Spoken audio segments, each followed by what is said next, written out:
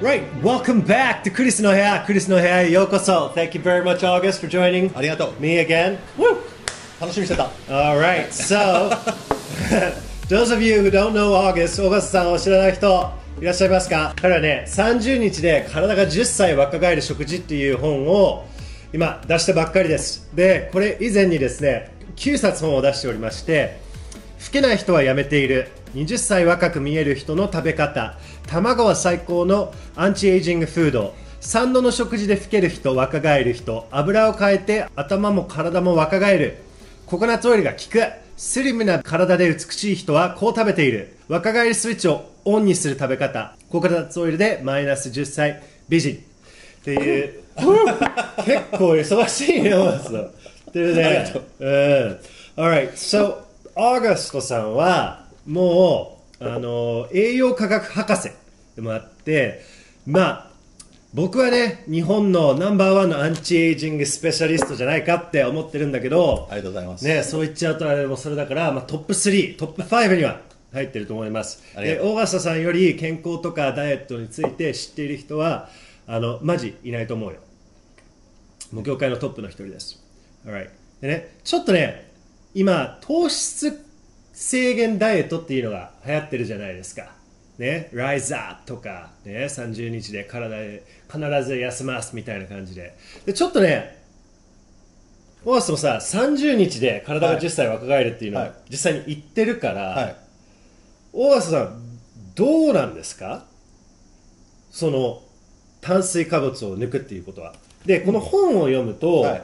オーガストの1週間食生活を講演してるわけよね。はいで何食べてるかって見えるんですよ。で、オーガストさんはあんまり炭水化物取ってないんだよね。そうだねあんまり取らないですね私はでも、このモニターの人たち、はい男女、はい両方ね、女性。例えばこの人はケーキとかも食べてて、はいウエスト30日で8.5センチ。はいで次の人行くと、この男性の方は、はいね、朝ご飯食べてるの、ウエスト16センチ、30日。そう。マジ？すごいでしょ。すごいよ。で運動なしですよ。でこの女性は、運動しないで。そのまま、運動なし？運動なしで。はい。すごいね。わざと運動はしないでくださいってこの30日間お願いしたんですね、はい、完全食生活の成果を出したかったんで。お腹周り、マイナス12センチ。はい。ウエスト、マイナス7センチ。まあ特にこの方はもともと最初からそんなに太ってる方ではないんですけど、まあ、本人はやはりお腹周りを大変気にしてましてうん、でこの男性はマイナス15センチ。そうです。であの顔の大きさが本当大きく変わりますよね、1か月だけでね。すそう。でもあのごー飯食べてるもんね。そうです。食べてます。いくらかはね。いくらかは。うん。So what's your あのー take? うん。いや私のアメブロで書いてきたブログを例えば8年前のブログに戻っていただきましたらもうその時点から、えー糖分、ね、炭水化物や、えー甘いものは、えーやめないと絶対健康を取り戻すことできないし、うん。えー痩せていくことは不可能ですよっていうことを言ってきました、うん。ただですね、まあ、だから間違いなく糖は人間の敵なんですよ。でも敵だからって、一切付き合わないっていうことも、まあ、あのそこまで考える必要性ないんですね、うん。敵だけど上手に付き合えばいいんですよ敵と OK。ここはちょっとね、ギリギリグレーゾーンに入ってくるんで、なぜ糖分は敵なのかっていうのを、ちょっとかん、簡単でいいから。はいうん。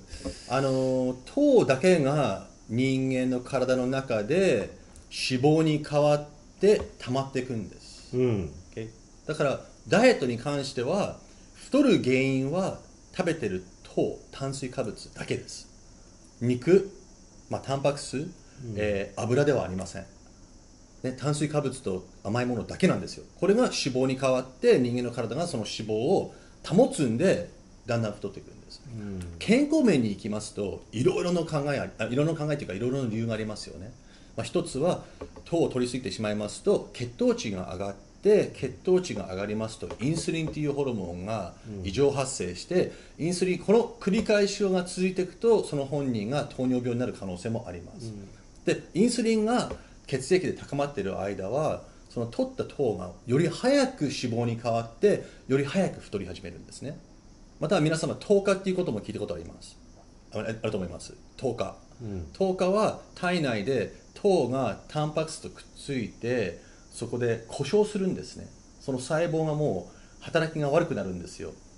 私がよく使う表現はこの時にあの公園に行ってあの木の枝からぶら下がって遊びましたよね。うん。で健康な木の枝ってほら伸びるから楽しかったじゃないですか、うん。ね、ビヨンビヨンビヨンってなって、うん。で今度違う木に行ってね同じように枝を掴んだらパキッて折れた時ありましたでしょ。ある。硬い木とか。もうん。パリパリに乾いちゃってて。うん。体内も同じことになるんですよ。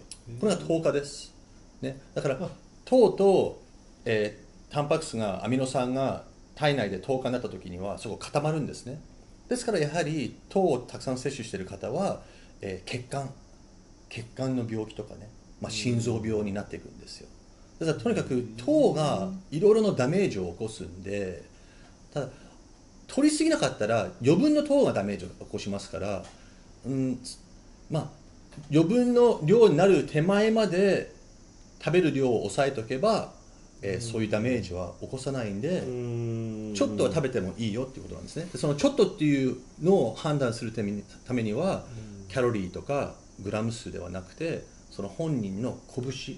うん。ね、自分の拳1個分まで一食に拳1個分まではいいですよ朝も拳1個分の、まあ、パン、ね。うん。お昼は拳1個分のチャーハン、うん。えー夜は拳1個分の炭水化物もいいんだけどより早くスリムになりたいっていう方はまたは毎朝起きるときに非常に疲れが溜まってるっていう症状を持っている方は夜だけは炭水化物を完全に抜いた方がよりいい結果が早く出ます、そうか。まあ僕はねちょっとあのーその炭水化物なしっていうのをやって、はい。まあほぼオーガストのねはい言ってるのをもうそっくり真似したっていうのがあって、はい。はいもう朝もサラダ卵3個とか食べてお昼ももう鴨サラダで卵ついててであとサラダオリーブオイルをはい。サラダにかけると、はい。その体がサラダを吸収しているかあのかパーセンテージがなんか上がるって言ってたじゃないですか、はいはいはい。あのその野菜に含まれているミネラルミネラルのうん。吸収率が油のおかげで上がるんですよ上がる。ってい。う、だからそういう感じでで、まあ、ほぼ炭水化物も取ってなくて、はい。僕は週1チートデーっていうのをやっててその週1回だけもう好きなように山ほど炭水化物を取ってたんですよ、はい。でそれでも結構痩せて、はい。でで今なんか体が変わったのかな？昔はやる前はマックとか行くじゃないですか。McDonald's right? And you smell those french fries. フレンチフライのさ匂いがやばくてうわーちょっと。じゃあさちょっとビッグマックスペシャル食べに行こうよとか言って マックのアプリ出して今日スペシャルないかなとか言ってやってたんだけど、はい。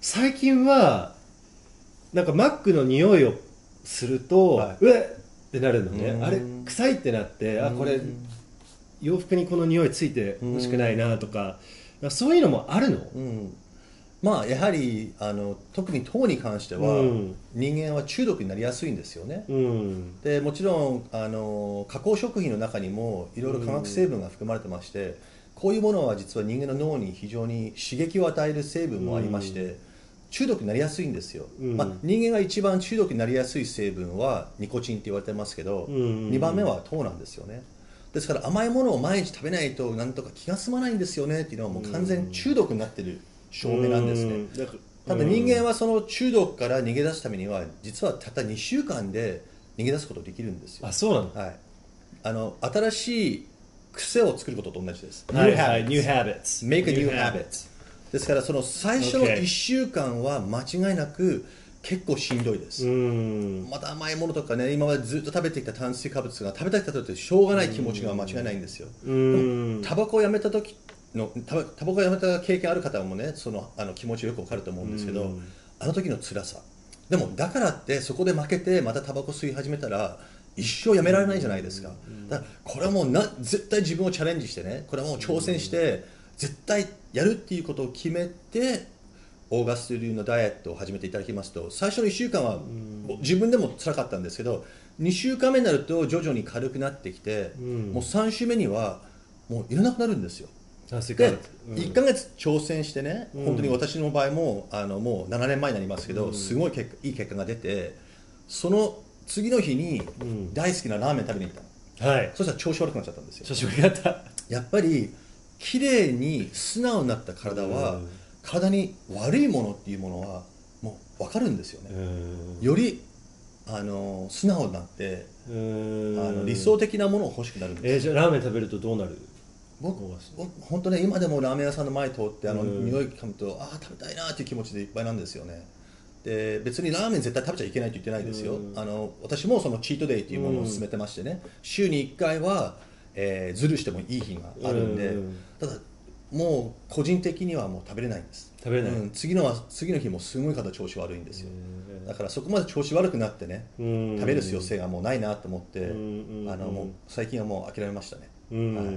えなんかオーガスト流でやっぱりすごいいいなって感じるのはそのチートデイ僕にとってはね、はいはいやっぱりその炭水化物をがんなしで頑張るぞってタバコやめるぞみたいな感じでちょっと、まあ、取り組むっていう、まあ、習慣になったら全然問題ないんだけど習慣になるまでね最初の2週間とかでちょっと、まあ、厳しいなっていう時もあったんだけどもうチートデイでもう朝から夜までアイスクリーム食べれるわけよ。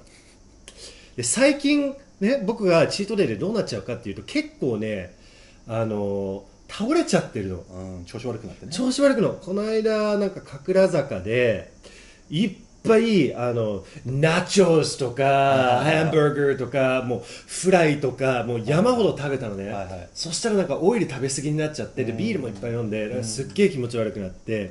でついこの間の日曜日もドミノズ頼んだわけよ。でこのミルフィールがついてドドミノデラックスで今さ半額クーポンとかメールでやってるでしょ。でついつい頼んじゃうわけよねでその最初の頼んだのが30分遅れたから500円の割引券がついて でちょっと夕ご飯どうしようかなってもう一回ドミノズ行こうぜみたいな感じでドミノズ頼んじゃったのね。でもそれが OK なわけよオーガストリーのチートデーだから。そうそうそう。でもちょっと倒れちゃってなんかあのお腹いっぱいになって気持ち悪くなったっていうのがちょっとあったんだけどそれがすごいなんか優しいところだと思うんだよね。なんか失敗できないような。でまさになんか生き方。It's a lifestyle いやでやはり、うん。あのひ人って違う人との付き合いとかってうん。あると思いたいですよね、うん。うん自分の食生活がこうなった中やはりあのせ接待にねうん。付き合ったり、まあ、とにかく人違う人の家に行ってねごめんなさいこれもこれも食べれないんですよっていう人間になっちゃうと、うん。私もそれ経験したんですけど徐々にね友達たちから誘いがなくなってくるんですよ。あ。で完璧っていうのはね難しいだけじゃなくてうん。必要ないし嫌われ者になります、うん。ね、で嫌いくら正しいことでも最終的に嫌われ者になったらしょうがないじゃないですか。うん。で、えー週1回、ね、7日の中の1回がうん。ずるずるしてもいい何でもいいっていう日があれば、えー、100%じゃなくて8割になるんですよね。うん。あの You're 80% correct 8割正しくて十分なんですよ人間は。そうだよね。十分に結果が出ます。だから毎週チートデーを絶対使いなさいとは言わないですよ、うん。でもそのチートデーは毎週設けてるんでいやちょっと今週はこういう付き合いがあるんでじゃあそれをチートデーにしようとか、ううんわもう大好きなピザねずっと我慢してきてもう久しぶりになっても食べたいなと思った時には、うん。食べてもいいんですよ。うんうん。たまに体に悪いことしてある意味では体に怪我させても、うん。健康な体はすぐ回復します。すぐ回復する。本当にね素晴らしいと思います。ありがとうございます。I highly recommend this book. もうぜひあの Amazon でも買えるし本屋さんでも売ってるんで30日で体が10歳若返る食事をぜひちょっと手に入れて読んでみてください。すごい面白いです。でもしこういうお話に興味があったら実はあのもう一本ねあのビデオがありますのでそれはちょっとすごい長い1時間ぐらい話してるんだけど すごい。絶対見た方がいいよ。もうダイエットやってる人ダイエットこれからやろうかなって言ってる人はもう must よ you gotta, you gotta watch it でなぜカロリーっていうのが間違ってるか。なぜ自分の体重を測るっていうのが間違ってるか。でそれは脂肪と筋肉のますごい面白いから 見てください。Alright? And please check out his blog 彼のブログは最高です。Blog All right. Well, thank you so much for joining me on the show, and I'll see you next time. Arigato. Thank you. All right. Thanks, everybody, and I'll see you in the next video.